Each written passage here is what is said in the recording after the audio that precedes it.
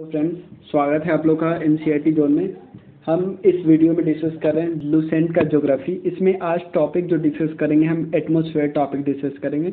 इससे पहले हमारा बहुत कुछ हो चुका है, आप प्लेलिस्ट में जाके सिंपल देख सकते हो। क्लियर तो चलिए, पहला टॉपिक डिस्कस करते हैं कि एटमॉस्फेयर होता क्या है। देखिए, जो हमारा अर्थ बटा हुआ है, तीन पार्ट में मेनली बटा हुआ है, जिसको हम एक लिथोस्फेयर बोलते हैं, जो लैंड वाला पार्ट होता है, उसको लिथोस्फेयर हाइड्रोस्फेयर वाटर वाला पार्ट को बोलते हैं वाटर चाहे किसी भी फॉर्म में हो लिक्विड गैस इवन सॉलिड चाहे वो आइस हो या वाटर हो क्लियर उसके अलावा एक एटमोसफेयर होता है जो एयर वाला जो कलेक्शन होता है एयर का जो कॉम्बिनेशन होता है, उसको हम एटमोसफेयर बोलते हैं। बायोस्फेयर होता है कि ऐसा जगह जहाँ पे तीनों एडिक्वेट अमाउंट में मिलते हैं ताकि जीवन संभव हो सके, उसको हम बोलते हैं बायोस्फेयर क्लियर तो सबसे पहले हम अगर बात करें एटमोसफेयर की एटमोसफेयर की तो एटमोसफेयर एक इन्वेलप है एयर का। क्लियर है? एयर का इन्वेलप है, जो कि अर्थ के चारों तरफ़ फैला हुआ है अर्थ के चारों तरफ़ फैला हुआ है यहाँ यहाँ सब ये एटमोसफेयर है। एटमॉस्फेयर वैसे तो हज़ार किलोमीटर तक एक्सटेंडेड है, लेकिन लेकिन अधिकतर जो एयर है, हमसे मात्र बत्तीस किलोमीटर दूरी तक है, उसके ऊपर एयर नहीं मिलेगा आपको।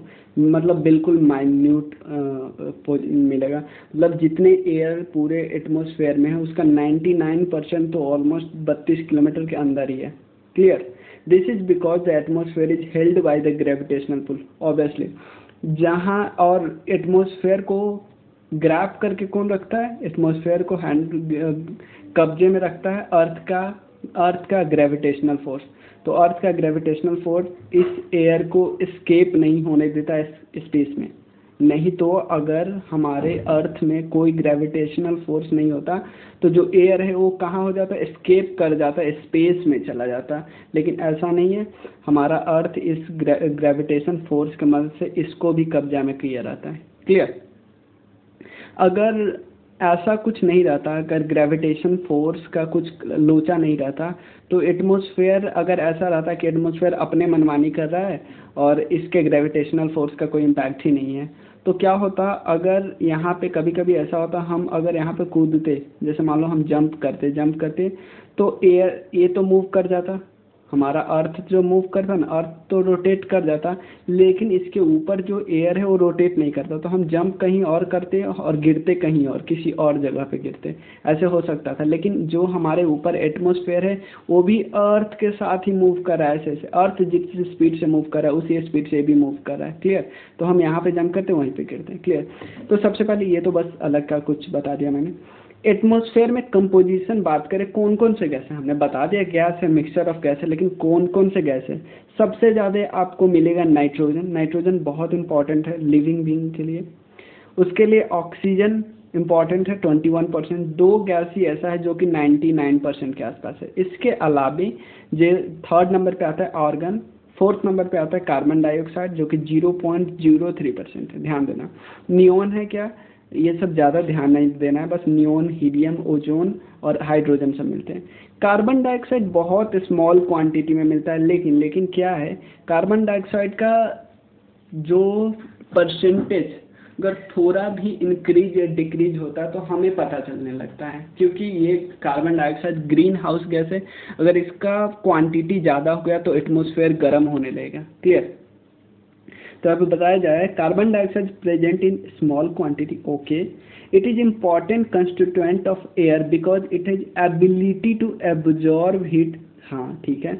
मतलब ये क्या करता है? हीट को एब्जॉर्ब करता है। इसलिए हमारे एटमॉस्फेयर को गर्म रखता है। तो हमारे एटमॉस्फेयर को गर्म रखने में मदद कौन कौन करता है? ग्रीन हाउस गैस और इसके कारण क्या होता है? हीट बैलेंस अगर कोई मान लो सन यहाँ पे अर्थ है सन यहाँ से अपना लाइट फेंकता सोलर रेडिएशन अगर यहाँ पे कोई ग्रीन गैस हाउस गैस नहीं होता तो सोलर रेडिएशन आता रिफ्लेक्ट होके पूरा का पूरा स्पेस में चला जाता। तो हमारा जो टेम्परेचर होता, हमारा टेम्परेचर होता माइनस में होता minus fifteen degree C clear है ना? अब नेक्स्ट बात करते हैं वाटर वेपर की। वाटर वेपर इज़ और एक और चीज़ बता दें कि एटमोसफेयर जो गर्म होता है, वो सोलर रेडिएशन की वजह से नहीं होता है। सोलर रेडिएशन की वजह से नहीं होता है। वो गर्म होता है टेरिस्ट्रियल रेडिएशन की वजह से। टेरिस्ट, देखो, दो रेडिएशन है हम समझ लेते हैं एक बारी। सोलर रेडिएशन का मतलब होता है सन से जो लाइट आया, सन से लाइट जब आता है, वो शॉर्ट वेव का होता है, उससे वो एटमॉस्फेयर के लिए ट्रांसपेरेंट होता है। एटमॉस्फेयर सोलर रेडिएशन के लिए ट्रांसपेरेंट होता है, एटमॉस्फेयर उसको सिंपल सिंपल आने देता है, एटमॉस्फेयर उससे गर्म नहीं होता, बस। ध्यान ध्यान रखें। एटमोसफेयर गर्म तब होता है जब सोलर रेडिएशन आया, धरती से टकरा के लौटा, उसको हम बोलेंगे terrestrial radiation terrestrial radiation long wave होता है और ये जब एटमोसफेयर से टकराएगा ना तो एटमोसफेयर का ग्रीन हाउस गैस जैसे कार्बन कार्बन ये ऐसे कार्बन डाइऑक्साइड ये सब क्या करेगा, इसको अब्जॉर्ब कर लेगा और फिर से रिफ्लेक्ट करेगा। इसके कारण ही एटमोसफेयर गर्म रहता है और हम ज़िंदा रह पाते हैं। क्लियर अब बात करते हैं वाटर वेपर की। वाटर वेपर नाम से ही पता चलता है कि वाटर में कुछ क्वांटिटी सॉरी एयर में कुछ क्वांटिटी वाटर का। इसको तो वाटर वेपर कहते हैं, क्योंकि वाटर प्रेजेंट इन एयर ऐसी बात होती है। तो वाटर वेपर सबसे सिग्निफिकेंट कंपोनेंट है, क्योंकि वाटर वेपर से ही तो बादल बनता है, फिर बारिश होती है इंपॉर्टेंट है। वेदर को बहुत ज़्यादा ये बदलता है वेदर पे बहुत ज़्यादा इम्पैक्ट डालता है। और इसकी क्वांटिटी वेरी करती रहती है, जैसे ज़ीरो से four degree Celsius four percentage तक। मान लो, ये इतना वॉल्यूम है एयर इसमें अगर फोर परसेंट वाटर हो तो इसको बोलेंगे हम फोर परसेंट ज़ीरो परसेंट मतलब यहाँ वाटर ही नहीं यानी वाटर वेपर है ही नहीं वाटर वेपर किसका सोर्स है? क्लाउड का प्रेसिपिटेशन का प्रेसिपिटेशन के बहुत सारे टाइप होते हैं, जैसे रेनफॉल हेल स्ट्रॉम ये सब होते हैं प्रेसिपिटेशन के type water vapour like carbon dioxide है ability to absorb heat energy it also regulate the hydrological cycle obviously hydrological cycle क्या होता है आपको पता होना चाहिए? मैं बता देता हूँ। हाइड्रोलॉजिकल साइकिल जैसे कार्बन साइकिल होते हैं, उसी तरह हाइड्रोलॉजिकल साइकिल होते हैं। मतलब ज़मीन पे मान लो पानी है। ज़मीन का पानी क्या होगा? ज़मीन पे पानी है। पानी को सनलाइट क्या करता है? एब्जॉर्ब कर लेता है, ऊपर ले जाता है। सन ऊपर वाटर ऊपर गया। तब तक ऊपर जाता रहता है। जब तक ऊपर जाता था तो मतलब पानी को पहले क्या करते हैं वॉश यहाँ से पानी गया, पानी को पहले कन्वर्ट कर दिया। कन्वर्ट कर दिया लिक्विड को गैस में कन्वर्ट किया, ऊपर ले गया। ऊपर ले जाने के बाद एक गैस क्या करता है, फिर से लिक्विड में कन्वर्ट हो जाता है लिक्विड इस प्रोसेस को हम बोलते हैं कंडेंसेशन कन्वर्ट हो गया। कब कन्वर्ट होता है? जब यहाँ का टेम्परेचर जब इस गैस का टेम्परेचर इस सराउंडिंग के टेम्परेचर के इक्वल हो जाता है या या हो सकता है, कम हो जाता है। क्लियर है ना? मतलब सराउंडिंग के टेम्परेचर के बराबर हो गया ना ये गैस का टेम्परेचर क्योंकि गैस गर्म है तो ऊपर ही जाएगा ना भाई। जब तक गैस गर्म रहेगा, तब तक ऊपर जाएगा। क्योंकि जो गर्म चीज़ हल्का होता है हल्का चीज़ तो ऊपर जाएगा नहीं भाई ऑब्वियसली लेकिन जैसे ही गैस का टेम्परेचर इस सराउंडिंग के टेम्परेचर के इक्वल होगा, गैस रुक जाएगा। उसके बाद गैस धीरे धीरे लिक्विड में कन्वर्ट होने लगेगा। गैस आपस में मिल जाएँगे ना तो लिक्विड ड्रॉपलेट में कन्वर्ट हो जाएँगे। उसके बाद फिर बारिश कर देगा रेनफॉल कर देगा। तो इसको बोलते हैं हाइड्रोलॉजिकल एक साइकिल में नहीं बन गया। ऐसे ऐसे बार बार हो रहा है। तो वाटर वेपर ही तो हो रहा है। वाटर वेपर यहाँ तक जो, यहाँ जो ये जो एयर जा रहा है, उसमें वाटर ड्रॉपलेट है ना तो इसको वाटर वेपर बोलते हैं। डस्ट क्या क्या करता है? डस्ट करता है intercept and reflect incoming radius भाई देखो, जैसे मैंने एग्ज़ाम्पल लेते हैं हम। एग्ज़ाम्पल लेते हैं। आप एक एक, आपको क्या लगता है? सोलर जो रेडिएशन भेजती है, वो सोलर एक एक फॉर्म में ऐसे ऐसे रेडिएशन भेज रही है। यहाँ पे एक ड्रॉप एक डस्ट है डस्ट है। तो क्या करें सोलर रेडिएशन पे आ रहा है। सोलर रेडिएशन को कुछ लोग रुक भी लेते हैं, रोक लेते हैं कुछ डस्ट और कुछ डस्ट क्या करते हैं? रिफ्लेक्ट कर देते हैं। मतलब उसको धरती पे आने ही नहीं देता। तो हम इसको बोलेंगे डस्ट पार्टिकल को बोलेंगे कि वो हीट बैलेंस को मैनेज करके रखता है। क्लियर है ना? डस्ट जो क्या करता है, ये भी इनकमिंग सोलर रेडिएशन को आने से रोकता है। Clear The polluted particle present in air not only absorb larger amount of insolation but also greatly absorb the terrestrial radiation. यही बात है कि डस्ट पार्टिकल क्या होते हैं? पॉल्यूटेड पार्टिकल होते हैं। ज़्यादातर पॉल्यूटेड पार्टिकल जैसे मान लो आपने फैक्ट्री में कोयला जला दिया तो कोयला का जो छोटा छोटा जलने के जो आपको पता है कोयला के जलने के बाद छोटा छोटा पार्टिकल ऊपर उड़ने लगता है, वो हमारे नाक वगैरह में, जब भी मतलब अगर ज़मीन के आसपास हो तो वो हमारे नाक आँख में सब में चला जाता है, हमारे जो धुआँ होता है ना, धुआँ धुआँ में भी तो पार्टिकल्स होते हैं ना, वो क्या चले जाएगा? अगर ऊपर चले जाएगा तो क्या करेगा? सोलर रेडिएशन को तो रोका ही, रोकेगा ही, रोकेगा। लेकिन सन से जो रेडिएशन गलती से धरती पे जो जो आ गया मतलब जितना आया, उसका एक पार्ट फिर से ऊपर जाएगा ना तो यहाँ पे भी तो पार्टिकल है, वो रोकेगा ही ना। तो पार्टिकल दो चीज़ करता है सोलर रेडिएशन को भी रोकता है और टेरिस्ट्रियल रेडिएशन को भी रोकता है। कोई प्रॉब्लम नहीं। Dust in the atmosphere contribute to red and orange colour of sunrise and sunset क्योंकि रिफ्लेक्शन के कारण होते हैं। क्लियर है ना? अब बात करते हैं लेयर कितने होते हैं एटमोसफेयर क्योंकि हमने देखा एटमोसफेयर में हर जगह सेम गैस नहीं होती सेम जगह सेम गैसेस नहीं होती। तो इस इस बेसिस में हम कैटेगराइज करते हैं टेम्परेचर के बेसिस पे और देखते हैं कहाँ पे ज़्यादा गैस है। इस बेसिस में हम एटमोसफेयर को पाँच पार्ट में डिवाइड करते हैं। देखो, ये बात डिवाइड करने वाला है। सबसे पहले आता है ट्रोपोस्फेयर जहाँ पे बहुत ज़्यादा गैसेस होती है, जहाँ पे क्लाउड्स होते हैं। उसके बाद बात करते हैं स्ट्रेटोस्फेयर उसके बाद बात करते हैं मेजोस्फेयर थर्मोस्फेयर इसके ऊपर एक है। क्लियर है ना? तो यहाँ से जैसे जितना हम ऊपर जाते हैं, ऊपर जाते हैं तो इस फ़ेज़ में क्या होता है? देखो, यहाँ मान लो एक टेम्परेचर है ट्वेंटी डिग्री सेल्सियस हमारे ज़मीन पे मान लो एग्जांपल लेते हैं। तो जैसे ही हम मेजोस्फेयर ट्रोपोस्फेयर के टॉप पे जाएँगे तो हमारा टेम्परेचर क्या हो रहा है? डिक्रीज हो रहा है ना? देख रहे हो temperature zero temperature minus fifty eight degree C के आसपास हो जा रहा है। अभी तो हमारे पास ट्वेंटी डिग्री सी है अर्थ पे। लेकिन जैसे ही वहाँ पे पहुँचेंगे तो minus fifty eight degree C पे आ जाए। कहाँ पे? ट्रोपोस्फेयर के टॉप पे। ट्रोपोस्फेयर के टॉप को क्या बोलते हैं? ट्रोपो पहुँच मतलब जहाँ पे ट्रोपोस्फेयर ख़त्म हो गया, अब स्ट्रेटोस्फेयर शुरू हो गया। स्ट्रेटोस्फेयर में स्टार्टिंग में तो टेम्परेचर कोई पे कोई फ़र्क नहीं पड़ेगा। हाइट पे जाते रहेंगे टेम्परेचर कोई डिक्रीज इंक्रीज नहीं हो रहा। लेकिन जैसे ही ओजोन लेयर आता है टेम्परेचर इंक्रीज होने लगता है। इंक्रीज होने लगता है और इंक्रीज होता ही रहता है। कब तक? स्ट्रेटोपॉज तक, इसको स्ट्रेटोपॉज बोलते हैं। मेजोस्फेयर में क्या होता है? फिर टेम्परेचर डिक्रीज होने लगता है। और यहाँ पे सबसे मिनिमम टेम्परेचर होता है। इसके बाद फिर से टेम्परेचर इंक्रीज होने लगता है और इंक्रीज होता ही रहता है। क्लियर है ना? तो हम डिस्कस करते हैं। फिर आपको अगर कोई ज़रूरत पड़ेगा ना तो मैं फिगर में ले चलूँगा। सबसे पहले एक और चीज़। ट्रोपोस्फेयर क्या होता है? पहला लेयर है तो हमें कोई दिक्कत नहीं। इसका हाइट 18 किलोमीटर तक होता है इक्वेटर पे और 8 किलोमीटर होता है पोल्स पे। ऑब्वियसली कोई डाउट ही नहीं आपको होना चाहिए। ये मान लो इक्वेटर है, ये इक्वेटर है। तो यहाँ पे ज़्यादा हाइट तक गैसेस होगी। यहाँ पे पोल पे कम हाइट पे गैस होगी। जैसे इसका ग्राफ अगर बनाए तो कुछ ऐसे होगा। ऐसे ऐसे। ये है अठारह किलोमीटर, ये आठ किलोमीटर। ऐसे बढ़ेगा ना कि अगर ग्राफ ऐसे बनाने का ट्राई करें तो मतलब बहुत बुरी हैंड राइटिंग है। मतलब वो एक्चुअली वो जो इसका पेन का क्वालिटी है ना, वो अच्छा नहीं है, इसलिए नहीं बन पाता अच्छे से। तो ये है अठारह किलोमीटर, ये है आठ किलोमीटर। क्लियर आठ किलोमीटर, ये अठारह किलोमीटर। तो पोल पे हाइट क्या, और ऑब्वियसली क्योंकि यहाँ पे पोल पे ज़्यादा गैसेस वगैरह होते हैं, जा इक्वेटर पे ज़्यादा गैसेस होता है पोल पे उतना गैसेस वगैरह होता नहीं।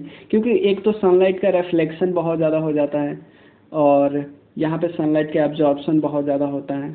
क्लियर तो ये सब है द लेयर टेम्परेचर डिक्रीज होती है हाइट के साथ। मैंने बता दिया ना? This is due to fact that density of air decreases with height obviously density क्या होता है? मैं आपको बताता हूँ।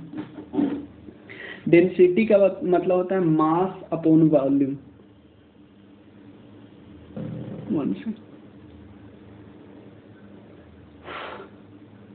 mass upon volume जैसे देखो। मान लो ये बात करें हम एंड वॉल्यूम एक एग्जांपल लेते हैं। एक, दो घर है, सब बराबर बराबर घर है। दो रूम है, बस। इसमें आपने एक के जी एयर रख दिया। पूरे में मिल जाएगा। लेकिन इसमें आपने रखा दो के जी एयर ये भी पूरे में मिल जाएगा। लेकिन लेकिन ये वाला रूम जो रूम बी है, वो ज़्यादा, इसमें ज़्यादा गैस आ गया। यानी इसमें मास ज़्यादा आ गया, इसमें मास है दो के जी इसमें मास है वन के जी लेकिन वॉल्यूम दोनों का सेम है ना? तो रूम बी का डेंसिटी दोगुना होगा रूम ए से। रूम बी का डेंसिटी दोगुना, क्योंकि वॉल्यूम दोनों का सेम है। वॉल्यूम क्या होता है? रूम का length into breadth into height लेकिन मास इसमें दो गुना है तो इसकी डेंसिटी ज़्यादा होती है। सेम यही बात करते हैं। अगर ए देखो, हमने बोल दिया कि सन देखो, जैसे एग्जांपल लेते हैं, जैसे अर्थ है, जैसे मान लो, समझ गए ना डेंसिटी समझे ना आप आगे मैं आपको कुछ समझ कुछ और समझाता हूँ।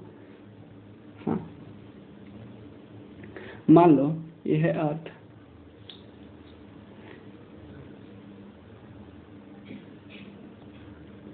देखो, ये है अर्थ यहाँ पे एयर ज़्यादा है। यहाँ पे थोड़ा कम है। तो यहाँ से सोलर रेडिएशन आया टेरिस्ट्रियल रेडिएशन ज़्यादा ऑब्जॉर्व करेगा ना।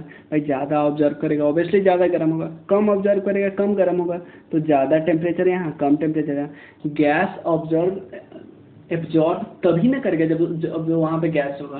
भाई यहाँ पे तो गैस ही कम है तो एब्जॉर्बेशन भी तो कम ही होगा ना clear since most of the देखो 90 परसेंट गैस तो सिर्फ़ इसी फ़ेज़ में होता है ट्रोपोस्फेयर में ही होता है। Since most of the water vapour यहीं पे होती है तो मोस्ट ऑफ़ द क्लाउड भी यहीं पे होता है। और सारा वेदर पैटर्न भी यहीं पे होता है। भाई क्लाउड यहाँ है गैसेस यहाँ है तो वेदर कहाँ क्या करने जाता है? वेदर किस चीज़ के कारण चेंज होता है? प्रेसिपिटेशन और टेम्परेचर दोनों चीज़ यहाँ है। आप आप आप तो एक्जोस्फेयर में कहाँ चेक करोगे?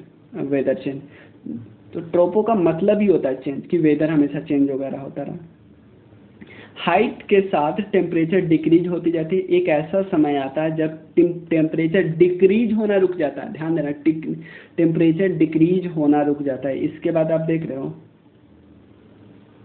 यहाँ पे यहाँ पे टेम्परेचर डिक्रीज होना रुक गया। अब डिक्रीज नहीं हो रहा है अब कॉन्स्टेंट हो गया, यहाँ तक। क्लियर है टेम्परेचर डिक्रीज होना रुक गया है। क्लियर नेक्स्ट है। हेयर टेम्परेचर कितना होगा? Minus eighty fifty eight degree से ये याद नहीं रखना है, बस। स्ट्रेटोस्फेयर क्या होता है? This is the second layer it extend from tropo tropopause tropopause कहाँ है आपको पता है? ट्रोपोस्फेयर जहाँ पे खत्म हुआ उसको ट्रोपोपॉज बोलते हैं, क्योंकि भाई, अब टेम्परेचर डिक्रीज होना बंद हो गया ट्रोपोपॉज इसका जो एक्सटेंशन है, वो ट्रोपोपॉज से लेके ट्रोपोपॉज से लेके पचास किलोमीटर तक है ऑब्वियसली इसको एक फिफ्टी किलोमीटर है फिफ्टी किलोमीटर ट्रोपोपोल से लेके, इसमें एक चीज़ इंपॉर्टेंट है, इसमें ओजोन लेयर है। ओजोन लेयर वही वाला जो यूवी रेज को सन का यूवी रेज जो है, उसको रोकता है। क्लियर है ना? Stratosphere temperature increase due to the absorption of the ultraviolet देखो, यहाँ पे पहले स्टार्टिंग में क्या हो रहा है? स्टार्टिंग में टेम्परेचर कांस्टेंट है। मैंने बताया ना स्टार्टिंग में टेम्परेचर कांस्टेंट है, लेकिन उसके बाद टेम्परेचर इंक्रीज होना शुरू करे भाई, अगर आपका ग्राफ ऐसे है तो इधर डिक्रीज होता है, इधर जाओगे तो डिक्रीज होगा, इधर जाओगे इंक्रीज होगा ना? अब देख लो ग्राफ में ही पता चल रहा है कि यहाँ ट्वेंटी है, ये डिक्रीज है, पीछे जा रहा है, ये आगे जा रहा है। तो यहाँ तक तो यहाँ तक तो टेम्परेचर इंक्रीज हो रहा है, देखो। यहाँ तक तो टेम्परेचर सॉरी कांस्टेंट हो रहा है, लेकिन बाद में इंक्रीज हो रहा है ना, क्योंकि इस ओजोन लेयर में यूवी रेज का एब्जॉर्बन होने लगा है। क्लियर है ना? तो स्ट्रेटोस्फेयर के बारे में डिस्कस करते हैं। ओजोन लेयर यहाँ पे है। ये टेम्परेचर इसका स्लोली इंक्रीज होने लगता है। चार डिग्री सेल्सियस तक चले जाते हैं। This layer is free from cloud या बहुत रेयर क्लाउड है। और भाई लार्जर जेट प्लेन्स वगैरह यहीं उगाए जाते हैं। उड़ाए जाते हैं। क्योंकि भाई ऑब्वियसली जहाँ पे वेदर पैटर्न बार बार चेंज हो रहा है। आपको उड़ाने में एरोप्लेन के उड़ाने में प्रॉब्लम नहीं होगा। उसके बाद स्ट्रेटोपॉज आते हैं, जहाँ पे क्या खत्म होता है स्ट्रेटोस्फेयर उसको स्ट्रेटोपॉज बोलते हैं। उसके बाद आता है मेजोस्फेयर मेजोस्फेयर स्ट्रेटोस्फेयर के ऊपर है, ये 80 किलोमीटर तक है। यहाँ टेम्परेचर बहुत डिक्रीज होता जाता है माइनस नाइन्टी डिग्री सेल्सियस है। सबसे ठंडा लेयर यही है, और इसको मेजो पॉज बोलते हैं, जहाँ पे खत्म होता है। सबके जहाँ पे खत्म होता है, उसको पॉज पॉज नाम याद से याद हो जाएगा कि जहाँ पे वो पॉज हो जाता है। उसके बाद बात है थर्मोस्फेयर में बात करते हैं। थर्मोस्फेयर में क्या होता है कि ये मेजोस्फेयर के ऊपर है 640 किलोमीटर तक है और मेजर इसमें क्या होता है, इसमें टेम्परेचर राइज कर जाता है ड्रामेटिकली और चौदह सौ अस्सी डिग्री सेल्सियस तक पहुँच जाता है। यहाँ पे this temperature increase due to the fact that gas molecule in this layer observe the X rays and ultraviolet radiation देखो सन बहुत सारे रेडिएशन भेजती है X rays gamma rays UV rays visual rays इतने सारा भेजती है। लेकिन ये लेयर क्या करता है? यूवी रेज और एक्स रेज है तो सन का ही रेज ना? इसको ऑब्ज़र्व कर लेता है। जैसे ही ऑब्जॉर्व करेगा तो सन वहाँ का एटमोसफेयर गर्म तो होगा ही होगा। यहाँ इसके कारण क्या होता है? जैसे ही आपको एग्ज़ाम्पल सिंपल लेते हैं। ये एक है बॉल किसी भी चीज़ का।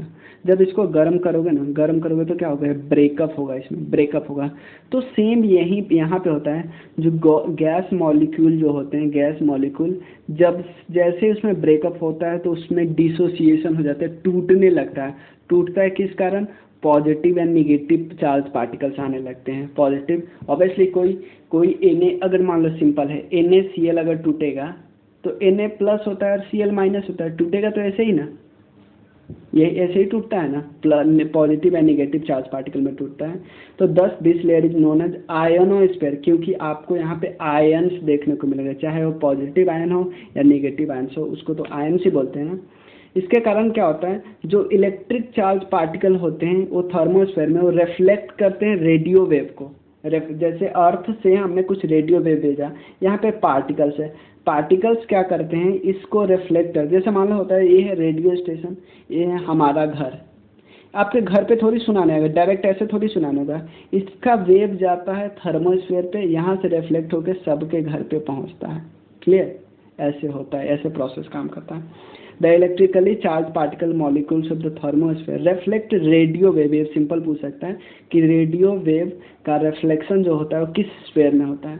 This this layer help in long distance communication clear है ना?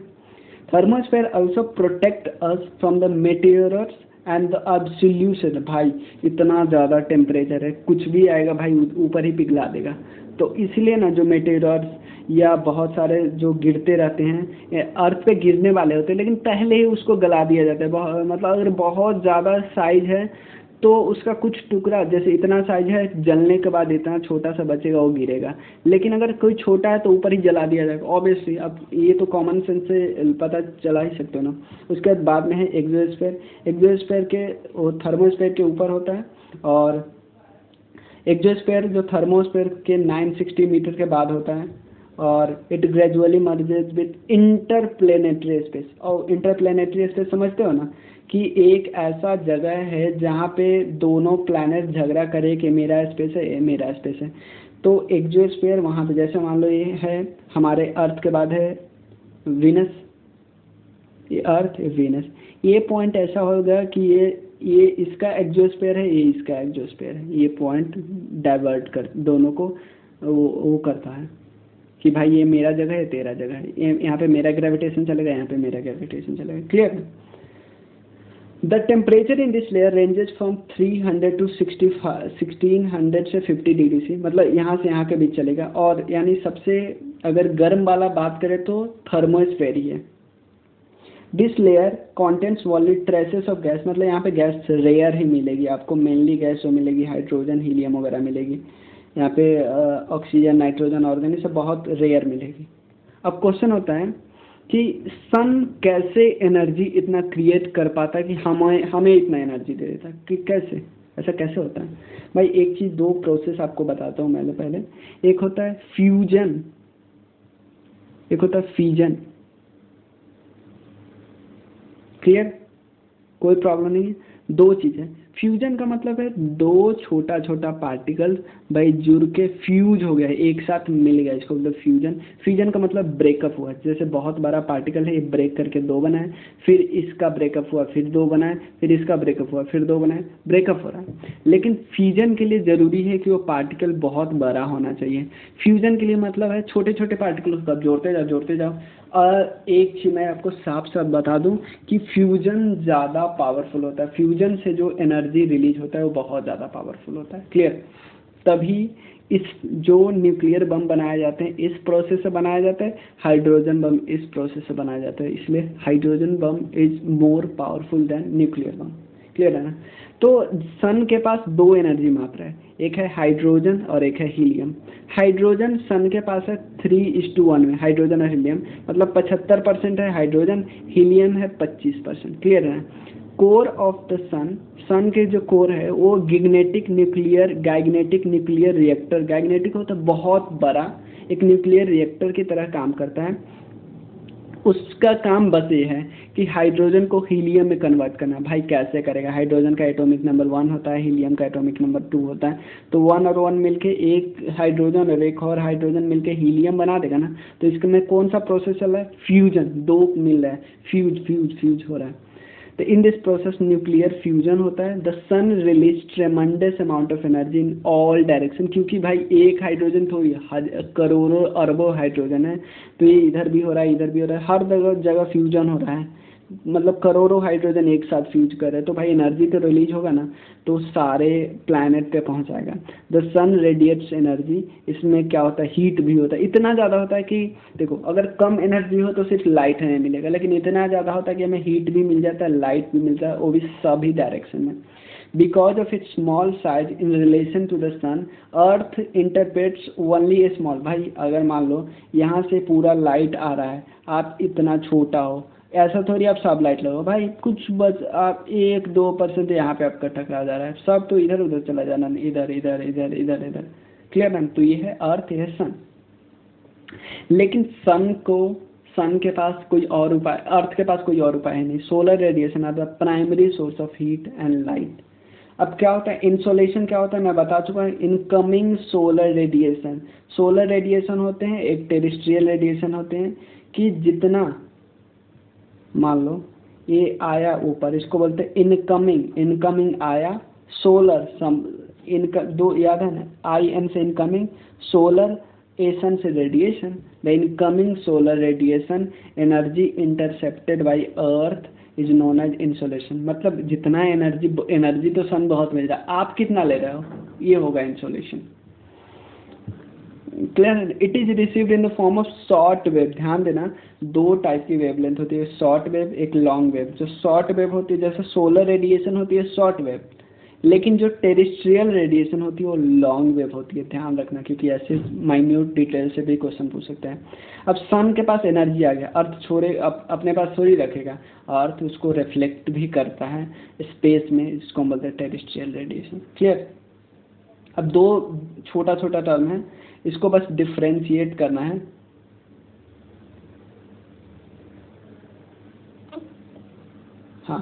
वेदर एंड क्लाइमेट वेदर क्या होता है कि एटमॉस्फेयर का डिस्क्रिप्शन कि किसी पर्टिकुलर टाइम में कैसा एटमॉस्फेयर है, कि उसमें बारिश कैसी हो रही है। अब जैसे मान लो, अभी की बात करें, अभी बारिश हो रही है तो इसको हम बोलेंगे हमारा वेदर ऐसा है कि बारिश हो रही है। लेकिन हम ऐसा नहीं बोल सकते कि हमारा क्लाइमेट है। क्लाइमेट एक कम, एक कंपोजिट पिक्चर होता है तीस पैंतीस साल का। जैसे एग्जांपल लेते हैं कि कोई एरिया में बर्फ़ है कोई एरिया में पोल्स एरिया है। पोल एरिया में हमेशा बर्फ़ रहता है तो उसका क्लाइमेट ही है पोलर वाला। यानी वहाँ पे हमेशा बर्फ़ रहेगी। तो हमें एक दो दिन से थोड़ी पता चला है। बहुत सालों ने हम में हमने देखा है। तो हमें लगा हाँ वहाँ तो ऐसे ही होगी अब चेंज नहीं होगा। तो क्लाइमेट एक कंपोजिट एंड इंटीग्रेटेड पिक्चर हो है वेदर कंडीशन का। बस वेदर को हमने एवरेज निकाल लिया। सबको ऐड करके देखा हाँ ऐसा ही होगा। ऐसे ही तो हम आ, हर दिन का जैसे मानसून को प्रेडिक्ट करते और भी चीज़ें होती लेकिन इस मेथड से भी हम प्रेडिक्ट करते। क्लाइमेट डेटा क्या होता है? तीस साल पर लेते हैं। और defined by W M A world meteorological department clear अब बात करते हैं, एक एटमोस्फेरिक प्रेशर है। हाँ।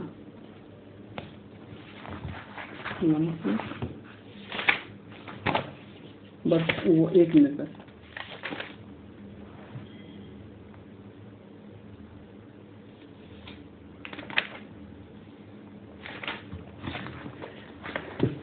एक टॉपिक इसमें छूट गया है, मैंने डाला नहीं है।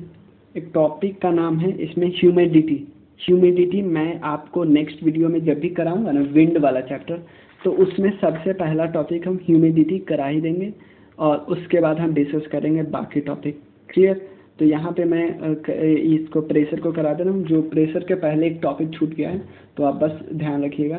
बस ह्यूमिडिटी एक छोटा सा टॉपिक है इसमें ह्यूमिडिटी क्या होती है humidity capacity saturated air dew point कुछ पॉइंट है, और ह्यूमिडिटी के तीन टाइप्स होते हैं, वो बस डिस्कस करना है। मतलब पाँच मिनट का हमारा क्लास एक्स्ट्रा उसमें करेंगे नेक्स्ट वीडियो क्योंकि इसमें वो मैं लेना भूल गया, रखना भूल गया।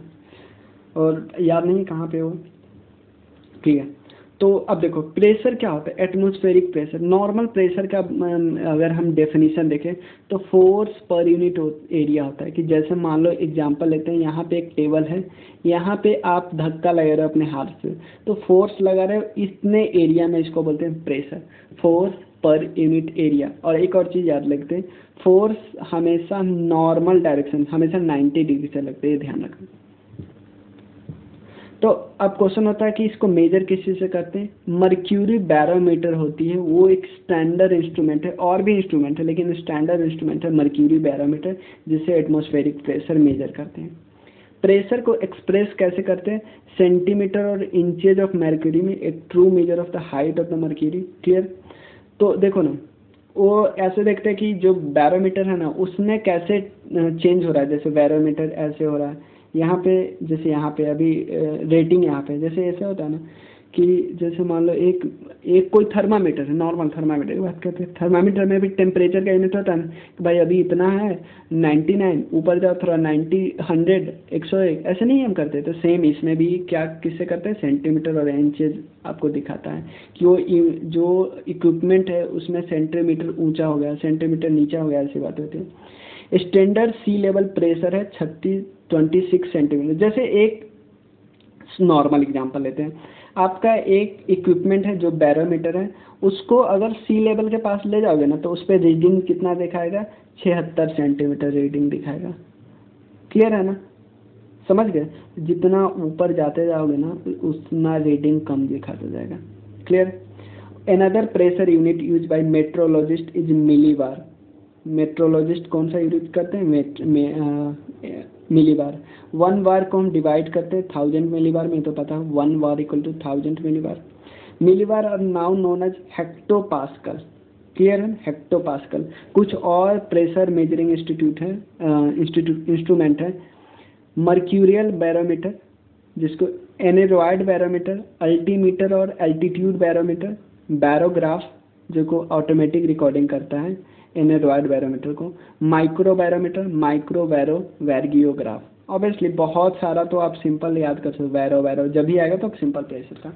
वन एटमोस्फेरिक प्रेशर ये यूनिट आप याद रखो, ये कन्वर्जन भी याद रखो कि वन एटमोस्फेरिक प्रेशर जो कि, क्योंकि जो इसमें होता है ना, उसमें मर्क्यूरी होता है, इसलिए हम बोलते हैं छिहत्तर centimetre mercury equal to seven sixty M of H J millimetre of H G mercury he equal to one zero one three point two five millibar simple ये ध्यान रखना, बस इस कन्वर्जन को। क्लियर है? नेक्स्ट वीडियो में मेरा पहला वीडियो पहला टॉपिक आएगा ह्यूमिडिटी उसका विंड्स डिस्कस करेंगे ट्रेड विन वेस्टर्लिज क्योंकि ये जो फिगर है ना, वो उससे ही रिलेटेड है विंड से ही रिलेटेड है। क्लियर है ना? तो जो आज का जो टॉपिक है, क्योंकि अभी मैं प्रेशर का वाला समझा भी दूँगा तो कोई फ़ायदा नहीं होगा, क्योंकि प्रेशर मैं समझा भी दूँगा, फिर नेक्स्ट वीडियो में विंड समझाना, फिर से समझाना होगा। तो फिर से एक ही साथ मैं प्रेशर समझाऊँगा विंड समझाऊँगा। तो दोनों एक साथ अगर समझाऊँगा ना तो आपको जल्दी समझ में आ जाएगा। तो winds trade winds westerlies easterlies उसका जेट स्ट्रीम डिस्कस करेंगे मानसून विंड लोकल विंड ये सब डिस्कस करेंगे। क्लियर चलिए थैंक यू और एक और चीज़ मैं आपको एक इन्फॉर्मेशन दे देता हूँ। कि नेक्स्ट एक से दो दिन में आपको, क्योंकि मेडाइवल हिस्ट्री ख़त्म होने वाला है तो पॉलिटिकल साइंस जो पॉलिटी है इसमें, और उसके अलावे अभी फिजिक्स दो आने लगेगा आपको। ज्योग्राफी तो चल ही रहा है हमारा। चलिए thank you thank you so much